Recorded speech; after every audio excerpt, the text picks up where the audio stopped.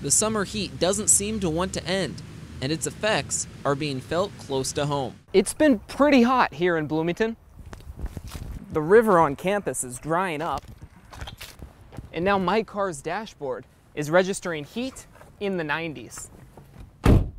Now, this is fairly normal for summer weather, but we're in October. That concerns me when normal weather patterns start to differ from what uh, they normally are. While this one specific period of heat and dryness isn't much more than a minor inconvenience to many IU students, researchers warn that this could be a sign of things to come. When you're in a, a world where the, the climate is changing and warming, if it were just a couple of warm spells, I would say those warm spells aren't a cause for concern.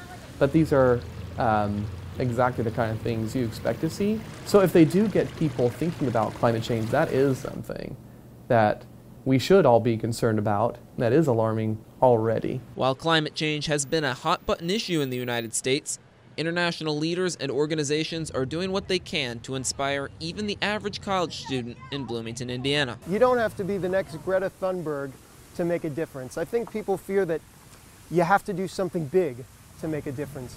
You don't. And if you don't know where to start, speak up and speak out because um, you can do what you can to make a difference in your own life. And that's important, that's good, that makes a difference. But this is going to take everybody. Cooler temperatures are on the way in Bloomington, but Staten hopes this hot spell is a reminder of the issues we're still facing with our climate.